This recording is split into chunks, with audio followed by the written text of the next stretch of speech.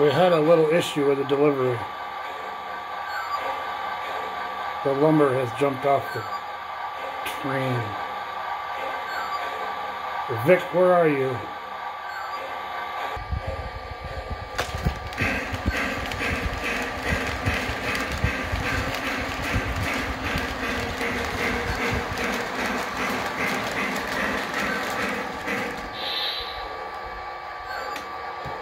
I think Vic is in trouble today. He didn't fasten the load down good enough.